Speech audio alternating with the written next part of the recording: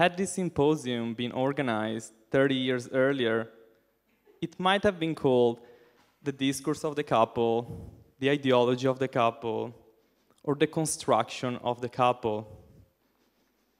These days, however, ontology seems to have taken the place of these more culturally attentive words, signaling a widespread turn away from epistemology, language, and history towards metaphysics, speculative philosophy, and materiality. We shall try to convince you in what follows that we have a more specific application of ontology in mind, and that there is a reason other than timeliness or trendiness that we couple the couple with this loaded term, heavy with the legacy of first philosophy and the history of Western metaphysics. While ontology and history are traditionally conceived as oppositional domains, we instead understand them as entangled in what Michel Foucault once called the historical a priori. A historical a priori is a function which determines what is possible in a given moment and yet remains untaught and unthinkable. The ontology of the couple can thus be conceived as a response to Foucault's call for what he refers to as a critical ontology of ourselves.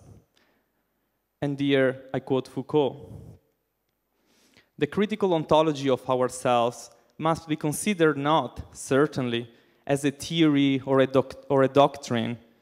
It must be conceived as an attitude, an ethos, a philosophical life in which the critique of what we are consists in the historical analysis of the limits imposed on us, as well as in an experiment with the possibility of going beyond them. End of quotation. The ontology of the couple thus refers to something which is at the same time praxis, for instance, the historically and culturally variable practices of coupling and the conditions of possibilities of possibility for that praxis to emerge, the a priori, which indicates the impulse to form and be in couples across time and space. Understood in this way, the ontology of the couple is a formulation less interested to interrogate the couple as a metaphysical or transcendental category to be affirmed or opposed, than to examine the different practices and impulses that underlie the repetition compulsion to forming, deforming, and dissolving dyadic bonds. In other words, what ontological inquiry poses for us is not necessarily a critique, an affirmation, or a deconstruction of the couple, but a question about the limits and the infinitude of this most minimal form of relationality. Going back to Foucault, what, is, what his call for a critical ontology of ourselves instigates is a pressure to think beyond the ontological limit point of what is currently thinkable. In our case, the constituted couple, which even non-monogamous relational forms like polyamory seems merely to replicate, multiply, and expand. And yet, against Foucault, this critical ontology of ourselves could perhaps be imagined not, as he seems to imply, as an attempt to expand the ontological perimeter of the thinkable to encompass the as yet unthinkable, for example, the extension of heterosexual modes of relationality to homosexual pairs. Rather, more in the manner of Adorno's negative dialectics, we might try to accept the intractability of what still lays untranslated beyond such limits, and thus allow it to remain ontologically untransposable and untranslatable. The aim here would be that of deactivating the ontological apparatus rather than continuously trying to stretch its all too flexible limits. But why must ontology always be conceived of as a limit? Feminist philosophers of science and science studies scholars of late have contested the framing of ontology as a philosophy of limits, as if ontology were the genotype to culture's phenotype. That is, as if ontology named the given and predetermined part of being, and epistemology named how being gets transformed through encounters with subjects. Is not ontology a science of potentiality as well as limitation, a philosophy of encounters as well as structures?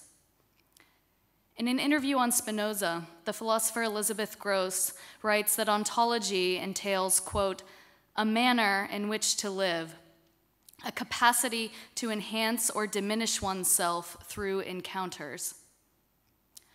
Ontology, in other words, always entails ethics. And for Spinoza, ethics was about relationality. Good and bad are for Spinoza nothing but measures of the effect of encounters.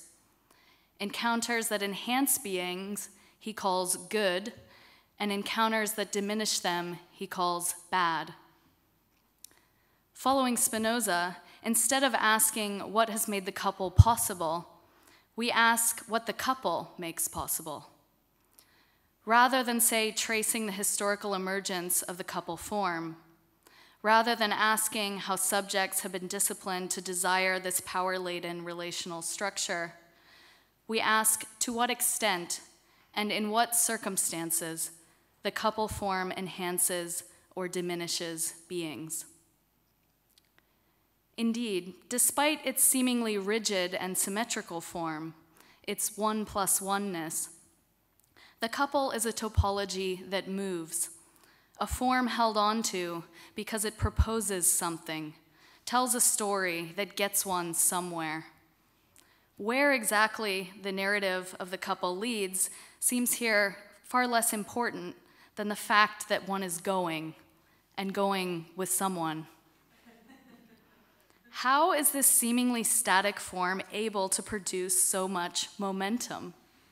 Put otherwise, how is it that the, how is it that the couple can engender so much optimism when one's experience of it in the present is often that of cruelty? In order to answer such questions, we propose, one must increase one's attention to form. This is because the ontology of the couple is a form, perhaps a deeply narrative form, the content of which is often irrelevant. It concerns not the specific qualities of a love object, their gender, for example, but the shape of one's relation to them. The ontology of the couple is thus about whomever. This is evidenced in the fact that, historically, if one loses one, that one is more often than not replaced by another one. In mapping the ontology of the couple, we thus set out to interrogate what we call the couple's formalism the having and holding onto promising structures, not because of what they promise, but because they do the promising. To undertake the ontology of the couple, is to ask the age old question of Western metaphysics what is? What is a couple? Let us consider briefly the grammar of this phrase. Normally, a couple is made of two individuals, be it a romantic sexual couple, twins, or me and my dog. And yet, the couple demands a grammatical third person singular to be spoken as one. The couple is the couple never are.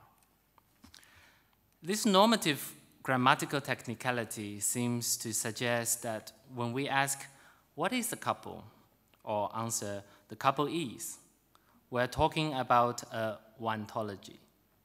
Yet, as we all know, without the need to paraphrase Irigaray, le sexe qui n'en est pas un, the couple is not one.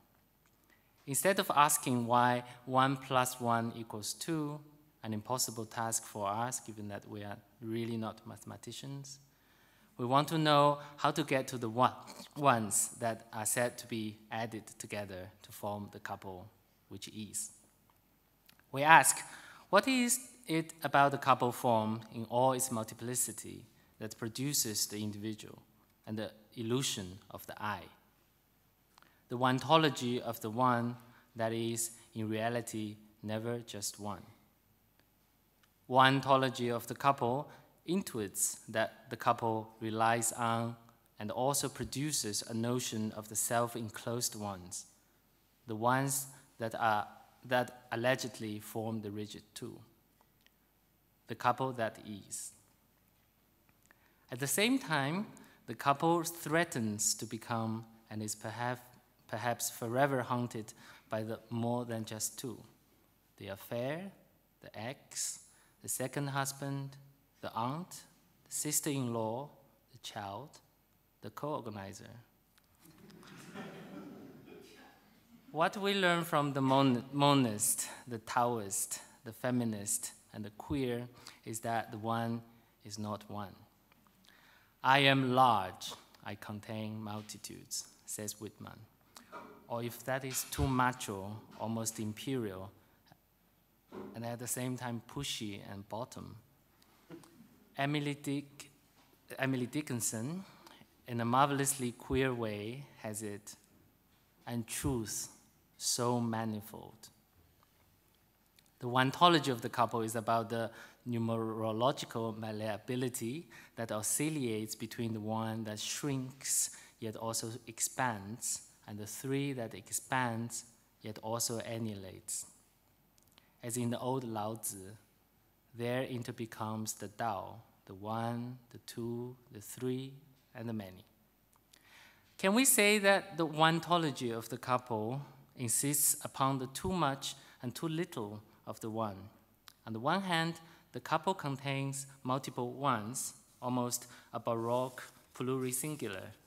On the other hand, the couple threatens to consume the ones into a rigid oneness, the cannibalistic devouring of the other in one, or anyone who would complain, I feel like my sense of self is totally lost in this relationship. The flip side of the Baroquesque, one that is many, is an anthropophagic collapsing into the void. The singular one, devoid of relationality, that no matter how hard we try to multiply it, stays void and one. The grave cannot become the rectum.